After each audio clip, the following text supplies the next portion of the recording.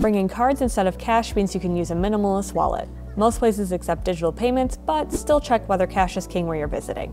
Once you pay for your food, eat with a reusable utensil set, not a disposable one, because it's better for the environment. Once you've finished snacking, wash it down with water from a collapsible bottle, not a stainless steel or plastic one. They're more sustainable and they take up less space in your bag once they're empty. In the end, packing the right gear can help you travel smarter.